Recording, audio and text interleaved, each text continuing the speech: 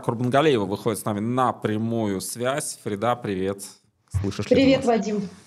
Да, ну вот мы говорили с Леонидом Гозманом, и там тоже затронули тему пропаганды, э, тема э, вечная, в общем-то, для российского телевидения, или, по крайней мере, которая растянулась уже на многие-многие годы. А вот Леонид Гозман считает, что пропаганда стала злее, да, то есть она как-то еще, э, еще злее. Вот что ты заметила? Есть ли ощущение, что пропаганда становится злее, или там какие-то другие тенденции преобладают сейчас?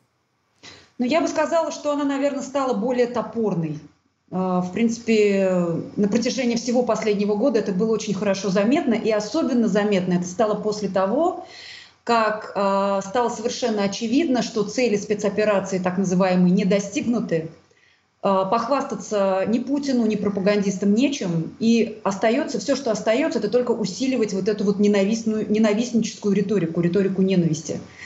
Поэтому с какого-то времени пропагандисты уже перестали э, стесняться выбирать выражения, открыто призывают бомбить э, и Киев, и какие-то европейские города, Берлин, я уже не помню, по-моему, еще что, Лондон, по-моему, хотели они бомбить, э, сжигать, э, топить украинских детей, что-то еще. Это все связано с тем, что нечего предложить э, зрителям, нечего предложить аудитории. Поэтому остается только нагнетать, Остается только накручивать население для того, чтобы оно сидело около телевизоров вот, э, и слушало, как эти люди, брызгая слюной, э, рассказывают о том, как мы всем покажем. Поэтому да, она стала более такой топорной, более примитивной. Э, нарративы очень примитивные. То есть э, никто особо ни над чем там не работает, долго не думает. Эм, вот все что, все, что придумывается вот так вот по щелчку на раз-два, тут же выносится куда-то э, на экран. Ну, достаточно вспомнить даже вот последнее видео, да, Скобеева стоит в студии и рассказывает о том, как бойцы ВСУ играют мощами в какой-то э, то ли хоккей, то ли футбол настольный и так далее. Вот такого совершенно простейшего, примитивного плана э, байки. Но нет ли у тебя ощущения, что некоторые, э, назовем это так, звезды пропаганды, они э, начинают выходить из игры, потому что Красовского больше не слышно. Да, его вроде как возвращали там под другим э, юридическим лицом, но Красовский слился. Или, в общем, ну, его нет сейчас в информационном поле. Он не так активно э, представлен. Шенин, который также был достаточно таким Тут, знаешь, пытаюсь подобрать слова, жесткий, вроде слово достаточно благородно.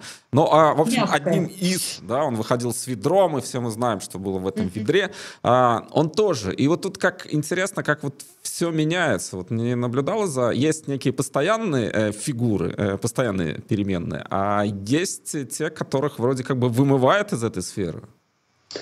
Ты знаешь, э, я не думаю, что эти фигуры, в принципе, обладают какой-то субъектностью. То есть, что они могут вот сейчас в предложенных обстоятельствах, что они могут сами решать, уходить им из игры или оставаться им в игре.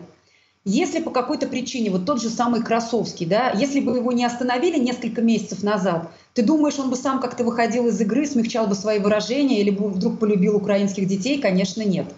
Если он сейчас э, не мелькает так активно, то я скорее склонна это связывать с тем, что вот люди, которые принимают решения за него, люди, которые как раз решают, останутся, останется он в эфире или нет, будет он работать на арти или нет, сохранят с ним контракт или нет. Uh, у них какие-то есть свои соображения по этому поводу. Вот что ему делать, uh, как ему работать, во сколько ему выходить в эфир, uh, будет ли это прайм-тайм или какое-то менее смотрибельное, что называется, время – это не его прерогатива, это не он решает. Он всего лишь э, такая же пешка, такой же винтик в этой государственной пропагандистской машине.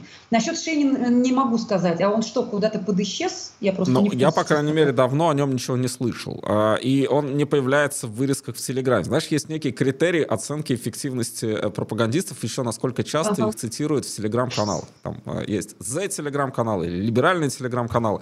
Ну, Соловьев, угу. Скобеева, Попов, Симонян армян там появляются всегда, практически ежедневно. А есть те, кого там уже давно не видно. Я вот так это... Интересно, да, есть над чем поразмыслить, но я боюсь, что... Эм, вот я не могу себе представить, например, что Попов и Скобеева подойдут к Добродееву да, в какой-то момент и скажут, Олег Борисович, мы больше не можем, но мы заврались по полной программе, на нас люди пальцем показывают, смеются над нами и так далее. И он им скажет, ну ладно, ребята, я все понимаю, идите отдохните, да, на какое-то время э, исчезните, я вам даю отпуск. Или там, я вас отпускаю, вы больше не будете вести эту э, программу кошмарную. Такого не может быть. Все, эти люди уже впряглись, они уже в этом кузове и никуда из него не денутся по собственной воле. Иногда мне вообще, честно говоря, кажется, что Попов приходит домой и плачет, и говорит, Оля, Оля, что же мы наделали, как мы дальше будем жить? А она ему говорит там что-нибудь типа, не ссы, э, все, э, деваться уже некуда. Э, они не могут, не могут принять сами такое решение, пока кто-то вышестоящий, кто-то из их начальников не решит это за них. Допустим, что им больше не стоит появляться в эфире, да? что их нужно там, я не знаю, там, на какое-то время пока убрать может быть, кого-то другого пока вывести и сделать более таким выпуклым, более ярким. Поэтому я, конечно, не могу знать, что происходит с Шейниным, но мне сложно поверить э, в то, что он сам э, вот так вот решил, и поэтому его теперь э, так плохо видно. Может быть, э, может быть у человека депрессия. Вот я недавно разговаривала с известным психотерапевтом Андреем Юдиным, он рассказывал и о психологии российского общества, которая не меняется, по его словам, уже несколько столетий, и вот сейчас о текущем психологическом состоянии. И он сказал, что э, преобладают, конечно, депрессивные настроения. То есть э, народ понял, что, видимо, это все действительно надолго, а самое главное, народ не видит будущего, он не понимает, куда, к чему идет страна. Цели спецоперации непонятны, а, чем все это закончится, непонятно, думать об этом страшно. Поэтому многие, а, многие значит, пребывают вот в, вот в такой депрессии хронической. Может быть, Шейнина она тоже обуяла. Вот может он дома лежит, э, накрывшись одеялком и повернувшись э, к стене, и плачет. Я не знаю.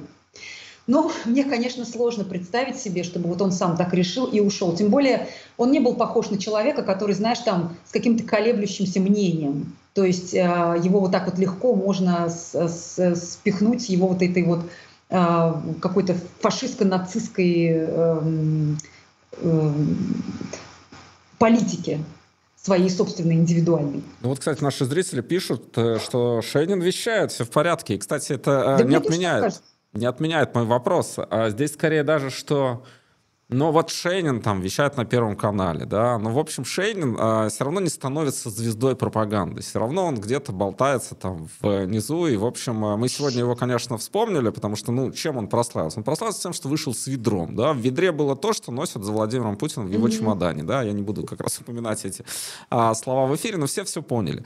А, но вот а, здесь еще такая интересная история, как мне кажется. Это чисто профессиональный разговор. Может быть, нашим зрителям тоже будет интересно. Как звезды становятся становятся звездами даже в этом пропагандистском сегменте, да, вот что есть те, которые, даже вот первая кнопка, прайм-тайм, много часов эфира, Шейна, а звездой не становится, а не становится вот главной фигурой вот этого вот телевизионного купола. Как это работает? Но, может быть, в нем нет столько пропагандистского обаяния, я даже не знаю, какое здесь слово правильно подобрать, как, например, в той же Скобеевой. Я, мне трудно очень оценить критерии, вот, по которым их руководство, их начальство отбирает, вот, э, делает из них звезд первой величины, первого эшелона или второго или третьего. Может быть, для кого-то Шейнин самый любимый ведущий. Может быть, вот есть люди, которые специально на него садятся вечером перед экраном. Не знаю, трудно сказать. По мне, так он такой же, честно говоря, гнусный, такой же агрессивный, как вот эта вот пара. Э, если их можно назвать звездами, в своем ремесле, то да. И, и, и эти двое звезды, и он, конечно, звезда. Я вот сейчас не хочу, чтобы мои слова там были вырваны из контекста. А, эти люди занимаются абсолютно отвратительным, а, чудовищным, человеконенавистническим ремеслом, и, и обязательно за это получат свое. Тут еще спрашивают наши зрители. Кстати, напоминаю, что Шейнин был редактором у Познера, кстати. Ни и Познер его активно защищал. Я помню, как Познер давал интервью Дудю, и Дудь пытался его всячески вывести на откровенность и сказать, ну как же так, вот вы такой вот либерал и демократ, а ваш непосредственный подчиненный э, занимается, носит э, ведра с дерьмом. И Познер его защищал и говорил, какой Тёма прекрасный человек, он всегда придет на помощь, он такой отзывчивый. Вот ты ему позвони в любое время суток, он вскочит, подорвется и побежит. Ну, здесь э, вопросы к Познеру, как мы понимаем, да? тоже одновременно возникают. Э, не знаю, каким, какими бы ни были э, замечательными его человеческие качества, в которые мне, конечно, очень сложно поверить, но э, невозможно переоценить его вклад э, в дело пропаганды и в дело разжигания ненависти и вот этой вот войны.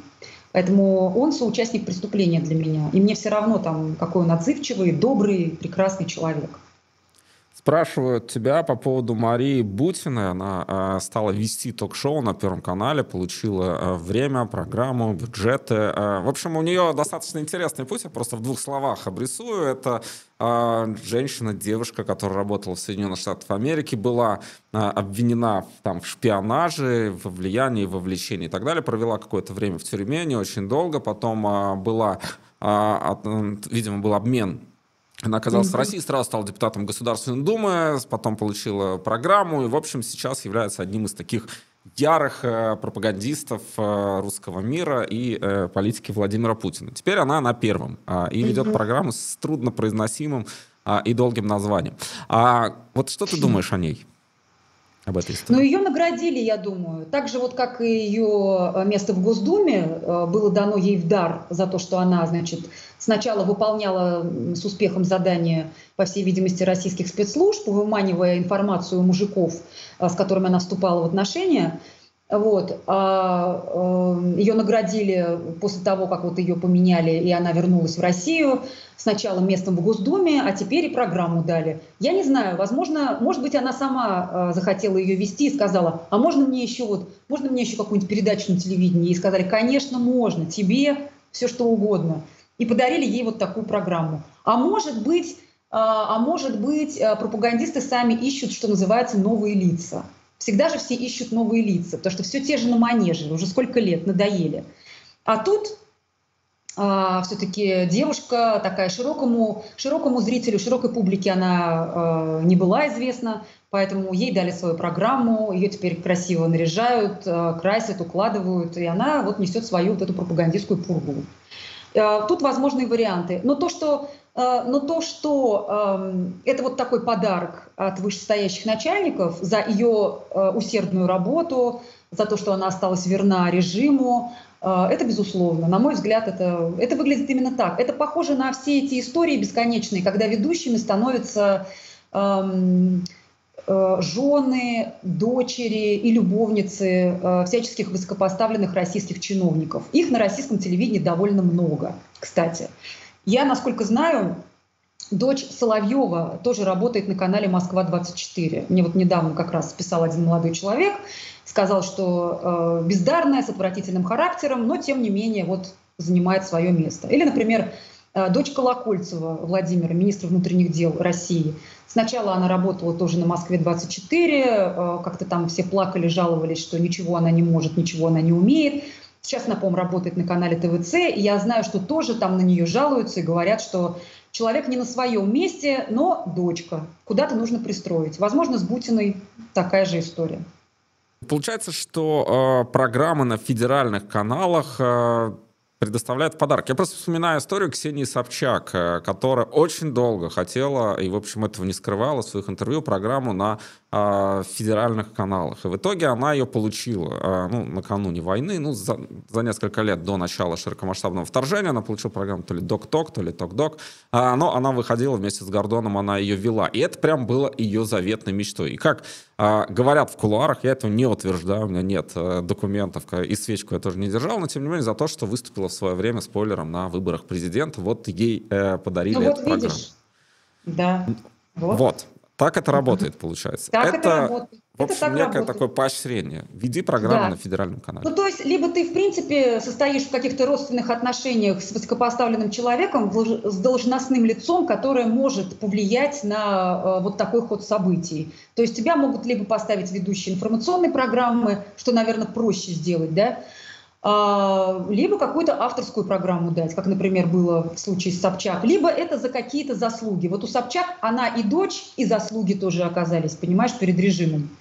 Вот, поэтому я думаю, что у Бутиной, конечно, это тоже все связано вот с таким вот фактом, с фактом дарения такого своеобразного. Ее наградили за то, что она много лет преданно служила режиму, даже в тюрьме в американской посидела. Но от своих принципов, от своих хозяев не отреклась. А чего бы и нет. А Собчак для себя однозначный или неоднозначный персонаж, кстати, Ксения Анатольевна? Ну, я, кстати, не знаю, никогда не была в восторге от нее, честно говоря. Никогда она выходила на э, площадь Сахарова, э, на улицу Сахарова со словами э, «Я Ксения Собчак, и мне есть вам что сказать», и народ там улюлюкал. Э, никогда она участвовала в президентских выборах, э, потому что никогда она мне не казалась искренней, честно говоря, и никогда мне не казалась ее позиция убедительной. А, я думаю, что она набирала себе, конечно, политические очки, потому что, в принципе, это, конечно, очень значимый факт в биографии участие в президентских выборах. Неважно, тут понятно было совершенно, что победить она в них не может, но сам факт, если она дальше собиралась строить свою карьеру в политике, а может быть еще и собирается, это, конечно, такая значительная, очень весомая гирька для ее бэкграунда.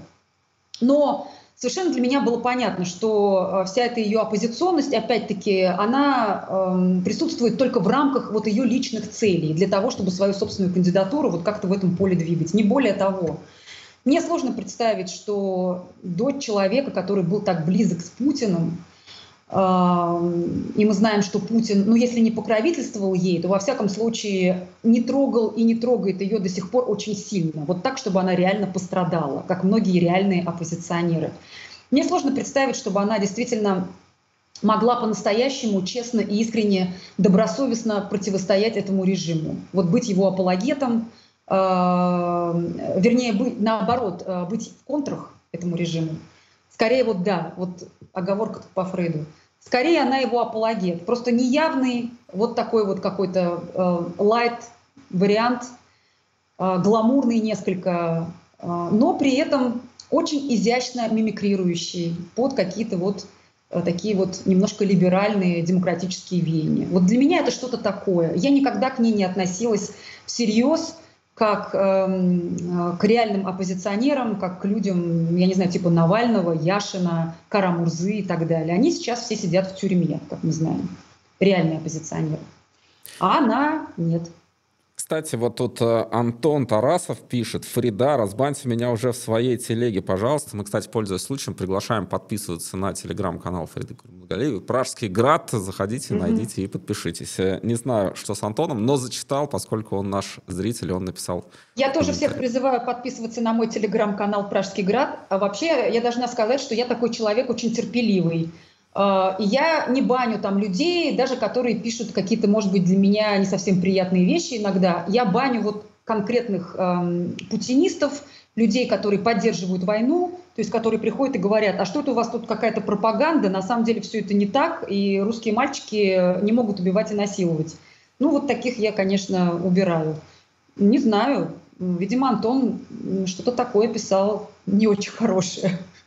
Ладно, вернемся к телевизионной кухне. Спрашиваю твое мнение о Тине Канделаке, кстати. Она тоже человек телевизионный, но сейчас там Опять же, mm-hmm. слово медиа в данном случае как-то произносишь и задумываешься. Медиа-менеджер, да. Ну, медиа ли это вообще или что-то другое, но тем не менее менеджер в чем-то другом. Вот как ты оценишь вообще Тину Канделаки, ее путь и ее становление, наверное, профессионально? Мне кажется, она получила все свои должности, все свои какие-то награды и плюшки, что называется, за свою вот такую абсолютно конъюнктурную конформистскую позицию.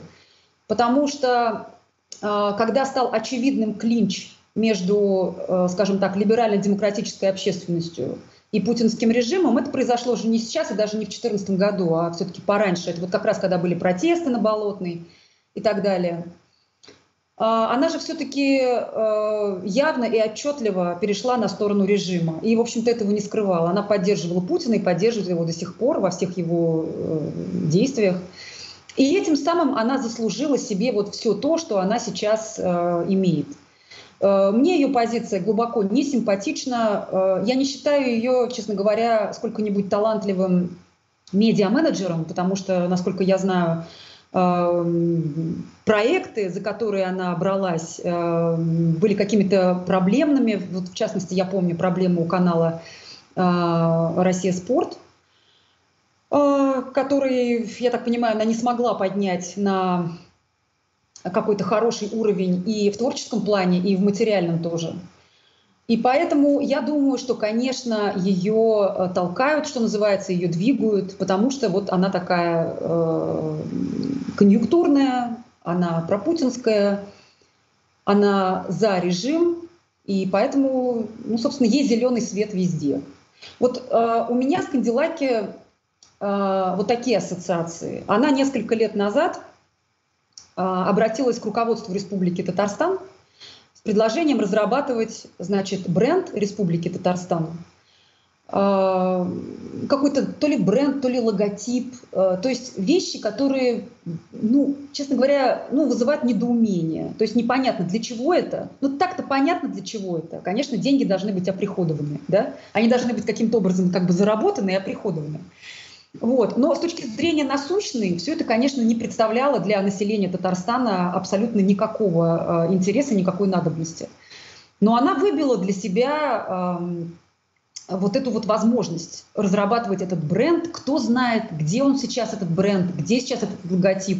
Был снят какой-то, я помню, очень патетический, пафосный ролик э, на тему Татарстана, который периодически крутили на каких-то мероприятиях. Я, допустим, видела его несколько раз, когда в Москве э, собирали татар, представителей э, татарской общины. Вот этот ролик там демонстрировался на каких-то плазмах и так далее.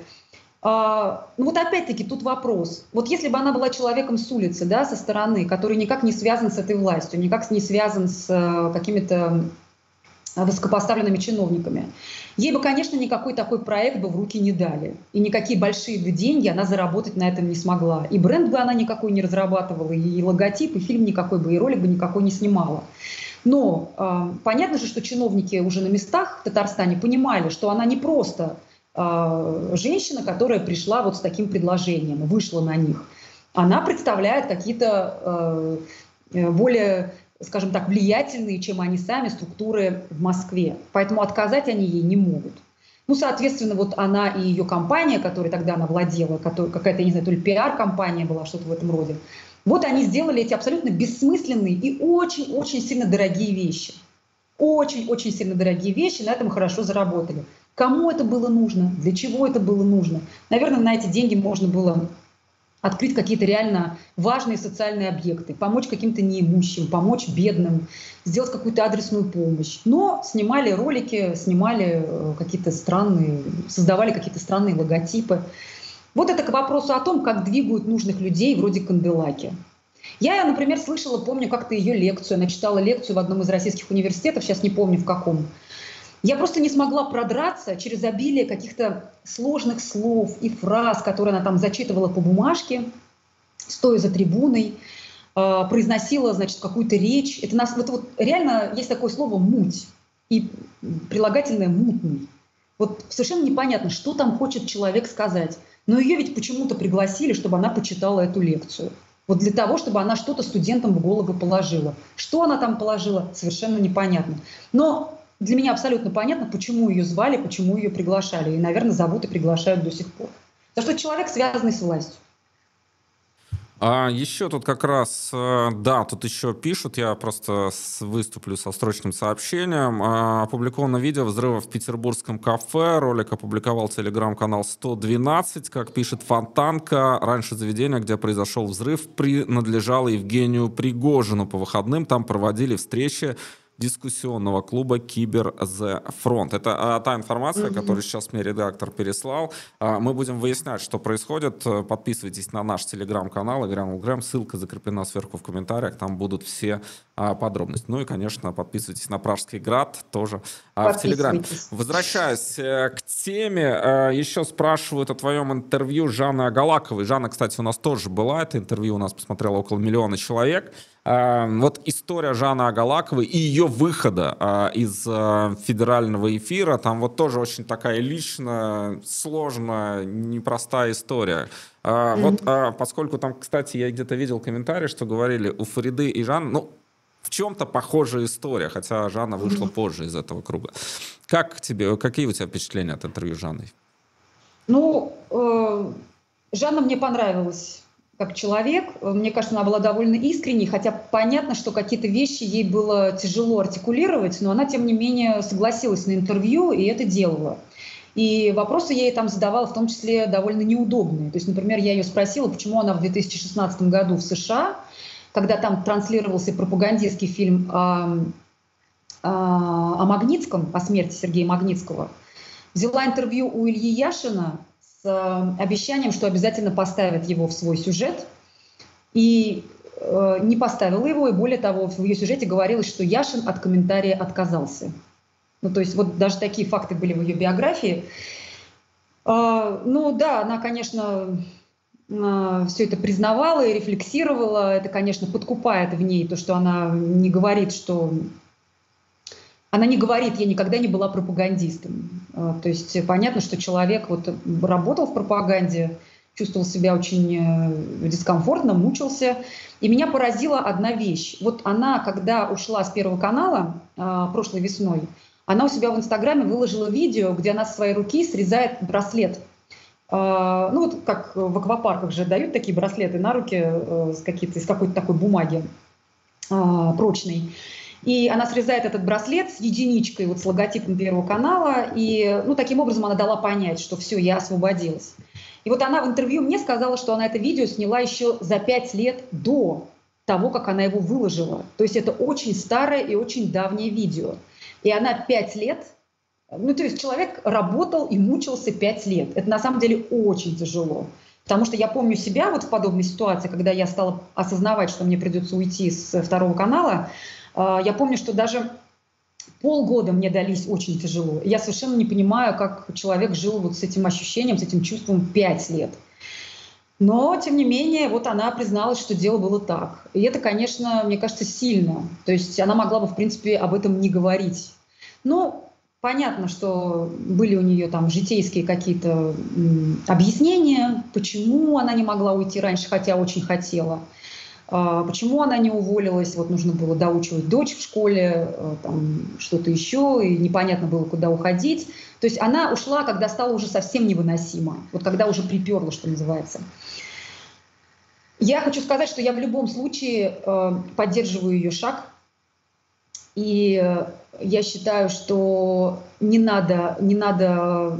Я просто видела очень много хейта в ее адрес, вот конкретно тогда, год назад что не надо было этого делать, потому что люди совершают э, серьезное, нечто серьезное, какой-то серьезный акт. Их надо в этом поддержать. И это нужно было поддерживать обязательно тогда, в начале вторжения, для того, чтобы как можно больше людей ушли из пропаганды, чтобы они не боялись это делать и не говорили, что эм, нас все равно будут так ненавидеть и нас забросают камнями, что смысла нет, мы уж лучше как-нибудь здесь посидим и рассосется. Кстати, мне Марина Овсянникова говорила, что ей писали с Первого канала ее коллеги, смельчаки какие-то, а, уже после того, как она ушла, что эм, они прочитали то, как ее хейтили украинцы, и это их очень сильно напугало. То есть люди в этот момент начинают думать, ну я вот хорошо, сейчас я уйду, и меня забросают там камнями, там, забросают дерьмом. Не все готовы, не все э, люди способны на то, чтобы вот это спокойно вынести, на то, чтобы на, с высоко поднятой головой этого не замечать. Э, люди обычно очень болезненно к этому относятся, и э, ну, не все, зная это, способны на такое серьезное действие. Поэтому я, когда ее послушала, я поняла, что да, все-таки я правильно думала по поводу Жанны, по поводу самой Марины год назад – что не надо их плевать дерьмом, не надо в них бросать камни, потому что, возможно, кто-то посмотрит на них и тоже эм, сделает то же самое. Ну что ж, спасибо тебе за то, что нашла время и вышла в прямой эфир. Фрида Курбангалиева была с нами на прямой связи сегодня. Спасибо и до следующего раза. Всего доброго. Спасибо, Вадим. Пока.